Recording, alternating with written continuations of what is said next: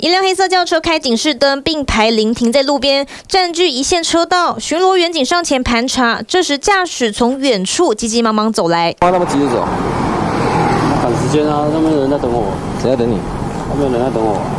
男子神情紧张，一秒都不想多做停留。远警盘查车内，果然在后座发现 K 盘。你台是谁的？应该不是你的吧？我的。这不是你的小孩吗？啊，站进去了。好了，先挂掉了，我跟你讲啊。当场被抓包，男子立刻打电话跟朋友求救。没多久，另一名男子也到现场。咩情况？无啦，我找人。小朋友呢？对啊。啊，你免入去啦，我就讲好了啦。哦，咋啊。不用不用进去了啦，你们进去也没用哦。